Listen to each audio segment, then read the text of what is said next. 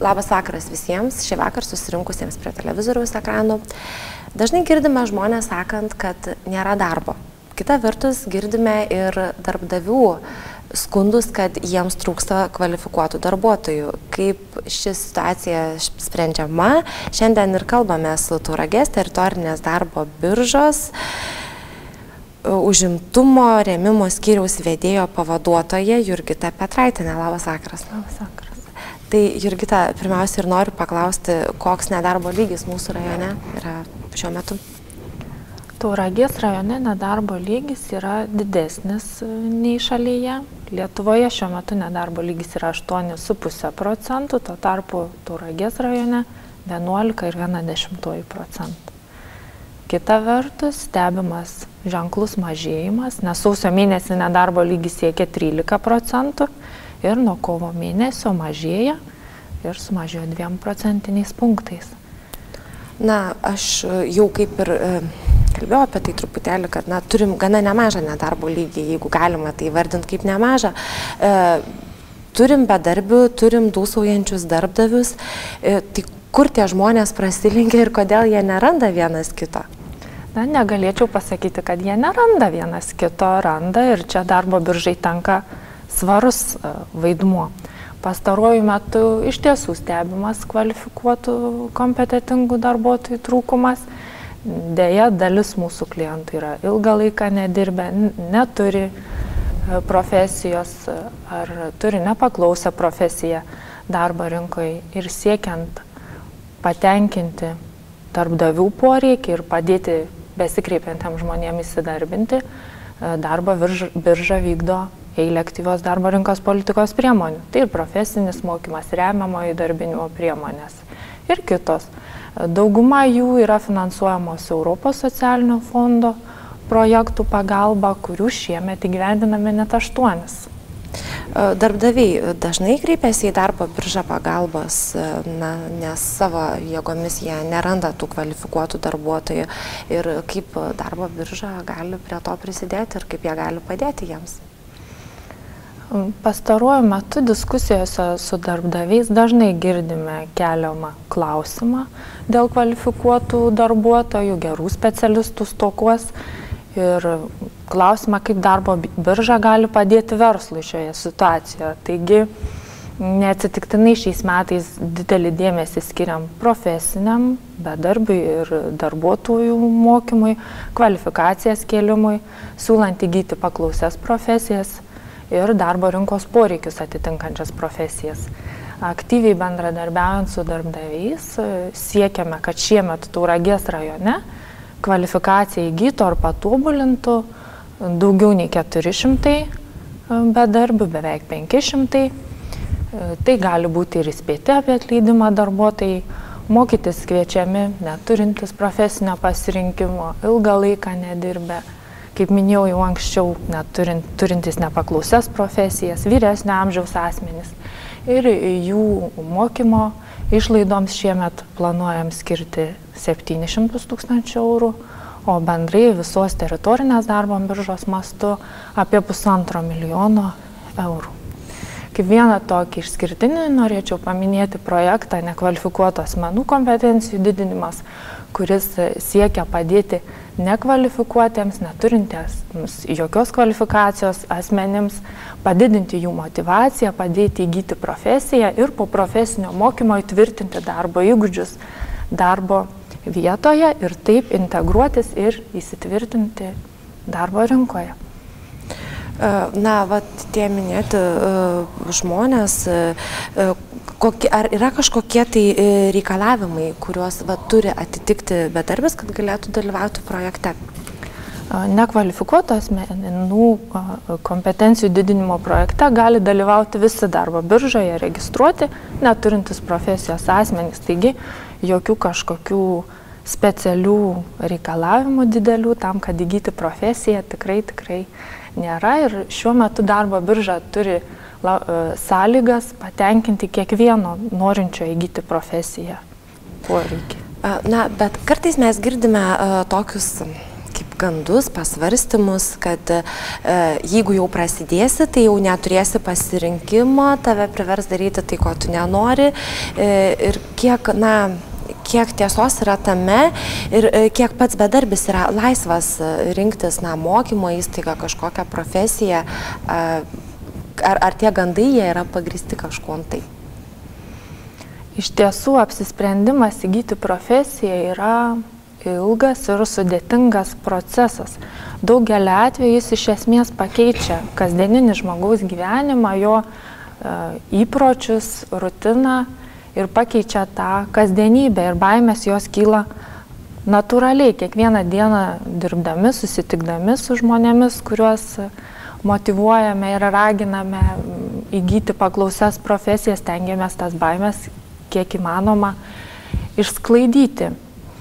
Mm, labai svarbu, kad pagal dabar galiojančią tvarką asmuo gali pasirinkti, aišku, paklausę profesiją, kuri jam yra mėla, primtina, tinkama ir po to gali pats pasirinkti mokymo įstaigą, kurioje jis nori mokytis ir įgyti tuos reikiamus įgūdžius darbui ar savarankiškai veiklai. E, darbdav, darbdavio vaidmuo šiame projekte, jisai kažkoks tai turbūt yra irgi kaip ir, be, kaip ir darbo biržas, kaip ir bedarbio. Darbdaviai aktyviai dalyvauja gyveninant profesinį mokymą. E, su darbdaviais yra pasirašomos trišalios e, mokymo ir įdarbinimo sutartis, kuriomis darbo biržai įsipareigoja kompensuoti mokymo, kelionės, apgyvendinimo išlaidas.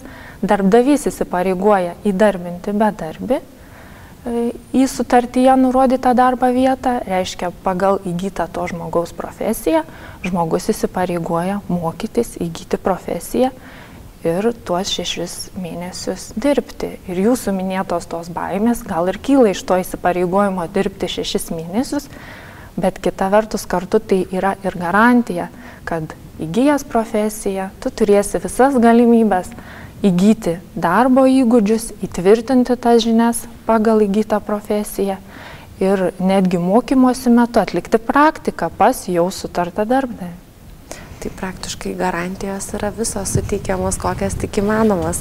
E, na, mes kalbam dabar tokiu kaip ir teoriju, teoriniu lygmeniu, kad taip gali būti. O galiu paklausti konkrečiai, su kokiomis įmonėmis jūs bendradarbiaujat? Glaudžiai bendradarbiavom su didžiausiom rajono įmonėm, aišku, tai yra akcinė bendrovė Vilkiškių pieninė, uždarosios akcinės bendrovės Molupis ir Ko, valdymo apskaita, pastata ir kitos e, strateginės mūsų partnerės. Kaip viena iš teigiamų mūsų bendradarbiavimo pavyzdžių norėčiau paminėti e, Skaudvilės miestelio gamybinę įmonę, uždarą akcinę bendrovę ryšininkas. Ši įmonė užsima įvairių betono, gelžbetonio gaminių gamybą ir veiklą vykdo Skaudvilės seninijoje, kuri mums yra svarbi tuo, kad registruotas nedarbo lygis 6 procentiniais punktais yra didesnis nei tauragės rajono. Ir tai yra didžiausia rajono įmonė, kuri kuria patrauklias darbo vietas ne tik darbo sąlygomis, bet ir darbo užmokesčiu. Ir įmoniai plečiant veiklą, šių metų pradžioje pasirašėm bendradarbiavimo sutartį, tikslinę programą, kurioje buvo numatyta, kad pagal trišalės mokymo ir įdarbinimo sutartys šeši skaudvilės miestelio e, gyventojai įgys betonuotojų profesiją ir bus įdarbinti įmonėje. Taigi tie bedarbiai mokėsi, Tauragės profesinio rengimo centre balandžio mėnesį sėkmingai baigė kursus ir šiuo metu dirba įmonėje, o dviem dalyviam profesinio mokymo išlaidos buvo kompensuotas Europos socialinio fondo projekto nekvalifikuotų asmenų kompetencijų didinimo lėšomis ir po profesinio mokymo e, turime galimybę darbdaviui kompensuoti pusę patirtų darbo užmokesčio išlaidų, nes e, merginos dalyvauja darbo įgūdžių įgymo rėmimo priemonėje ir taip įtvirtina savo tuos teorinės žinias. Na, o mes e, savo ruoštų turime parengę reportažą iš Jurgitos jau minėtos uždarosios akcinės bendrovės ryšininkas, e, kuriame, dabar kurį siūlome jums pažiūrėti ir jame jūs išvysite e, pokalbį su ABA ryšininkas vadovu. Mes taip pat grįšime į studiją.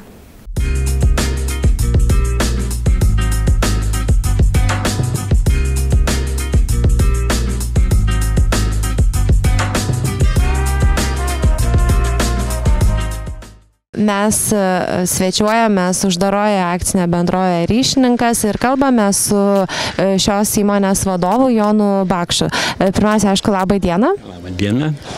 Gerbiamas Jonai, gerbiamas direktorių, kaip vertinate bendradarbiavimą su darbo birža ir apskritai visą šitą profesinio mokymo priemonę? Nu, paskutiniu metu tikrai džiaugiuosi jo.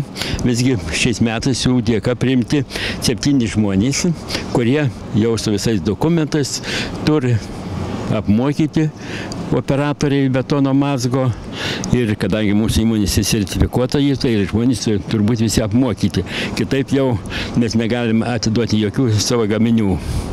Ir tas bendravims, kadangi nemažai dengiama yra iš darbo biržas pinigų, tai ir darbuotojai buvo nesunku pririnkti. Na, o pati šita priemonė, kokią naudą jum kaip darbdaviui teikia, vat, kuo jinai jum yra naudinga?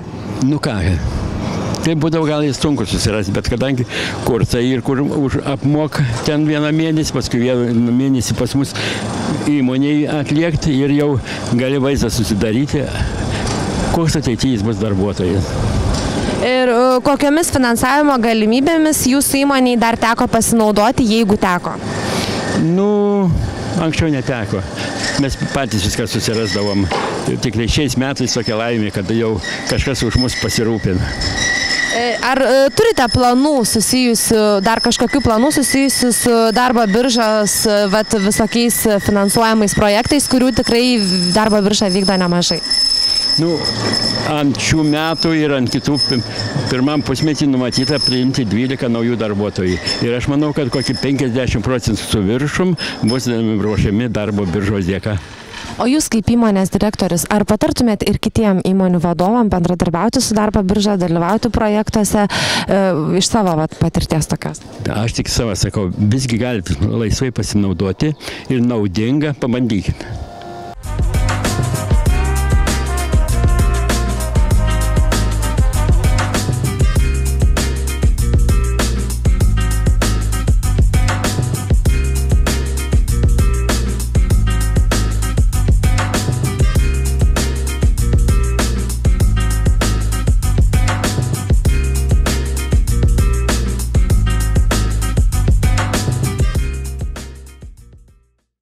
Na, tikimės, kad jums patiko mūsų parengtas reportažas. E, kokios Jurgita paklausiausios profesijos šiuo metu?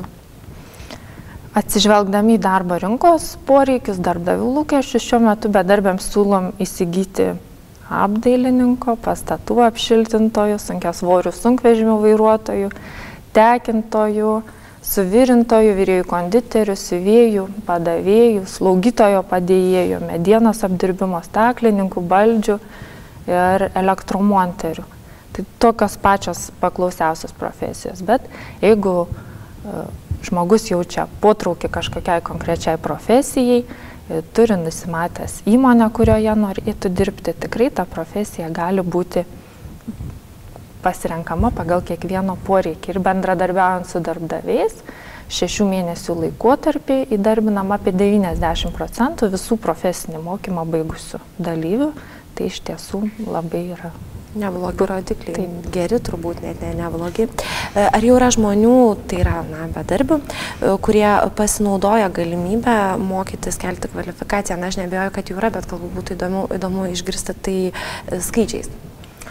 Per 500 metų mėnesius galimybę mokytis pasinaudojo jau daugiau nei 400 bedarbių jeigu per keturis mėnesius buvo 2,5 šimto, 260, tai dabar jau yra virš 400 bedarbių ir iš jų daugiau nei pusė, 60 procentų turi su darbdaviais pasirašę trišalės mokymo ir įdarbinimo sutartis.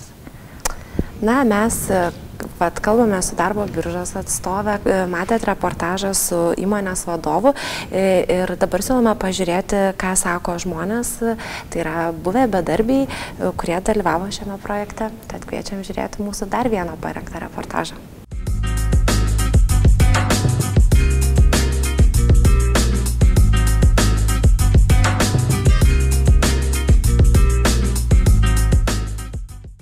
Mes e, šiuo metu esame uždaroje akcinė bendrovė ryšininkas Kaudvilėje ir kalbame su šios įmonės darbuotoja Violeta.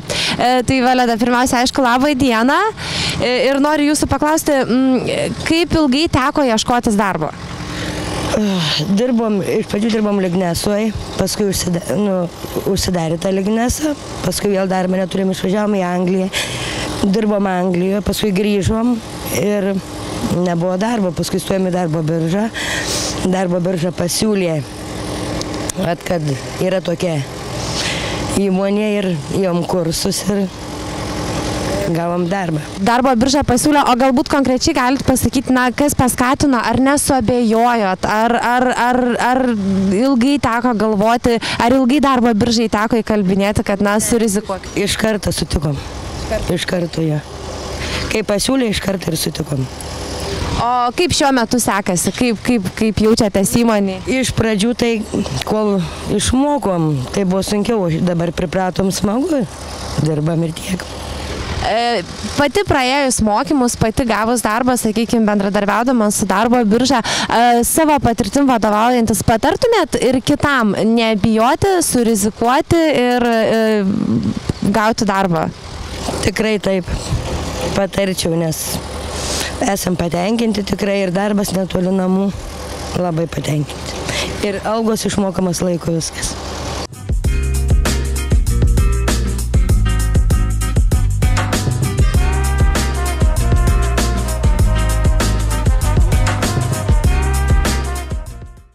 Mes kalbame su dar viena šitos e, įmonės darbuotoja, Andžela. Tai Andžela, aišku, pirmiausia, vėlgi noriu jūsų paklausti, kiek laiko ieškoja darbo?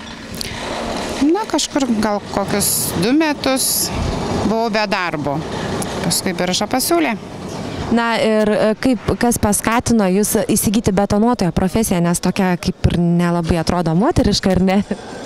Nu taip, iš tikrųjų nemoteriška tokia specialybė, bet e, kadangi ieškojau darbo, darbo birža pasiūlė, susitikau su darbdaviu ir darbdavys, vat, būtent vadovas pasakė, jeigu turėčiau betonuotojos profesiją, priimtų mane dirbti. Nu tai va ir išvažiavome mokytis, tauragės tą profesinę tą mokyklą, įsigijome tą specialybę, buvo sudaryta trišalė sutartis ir iškart pabaigę kursus, va, įsidarbinome ir sėkmingai dirbame. Na ir kaip šiuo metu jums sekasi, e, kaip, kaip darbai? Sekasi puikiai, labai patenkinti. O sakykit, e, ar patartumėt kitam, e, kuris vat, galbūt dabar šiuo metu galvoja, ką daryti, ar sutikti ar nesutikti, ar keisti tą profesiją, ar mokytis, ar patartumėt dalyvauti šioje programoje? Tikrai, visiems patarčiau nebijoti keisti profesiją, mokytis ir sėkmingai susirasti darbų naujų.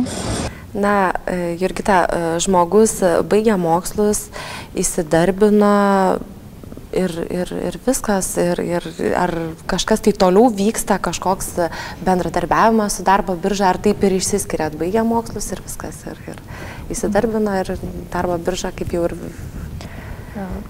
Dėl to ir kalbam šiandien apie Europos socialinio fondo projektą nekvalifikuotų asmenų didinimą, nes jis išskirtinis yra tuo, kad po profesinio mokymo turime galimybę darbdaviui kompensuoti, iš dalies kompensuoti patirtas darbo užmokesčio išlaidas. E, kursus baigęs asmuo gali būti įdarbinimas darbo įgūdžių įgyjimo remimui, tuomet darbdaviui iki penkių mėnesių kompensuojamo pusę apskaičiuoto darbo užmokesčio ir sodros įmokų lėšų.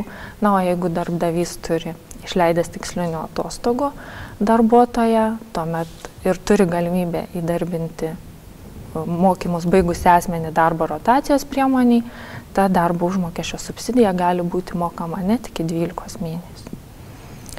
Na, kaip jau prakalbam apie pinigus, tai čia net neįmanoma nepaklausti, nes visus domina, e, kiek e, darbo birža yra numačiusi skirti profesiniam mokymui ir darbo užmokesčio kompensavimui, konkrečiai, jeigu galima sumokyti. Tai šis e, projektas nekvalifikuotų asmenų kompetencijų didinimas yra pradėtas įgyvendinti praėjusiu metu rūpiučio pirmą dieną. Ir per dviejų su pusę metų projekto įgyvendinimo laikotarpį darbo užmokesčio kompensacijoms yra skirta 1 milijonas 510 tūkstančių eurų. tai yra tauragės gyventojams. Kągi, Jurgita, dėkojom labai Jums už pokalbį. E, su žiūrovais e, noriu atsisveikinti ir prieš atsisveikindama noriu padėkoti tiems, kurie visą laiką buvo su mumis, nes šis mūsų sezonas jau baigtas. Atėjo vasara, atėjo atostogų metas, tad linkim Jums gerų atostogų, o tie, kurie vis dar e, vakarais įsijungsite mūsų kanalą, turėsite galimybę pažiūrėti mūsų laidų kartojimus. Tad geros vasaros, dar kartą dėkoju Jurgitai ir išsiskiriam iki rudens.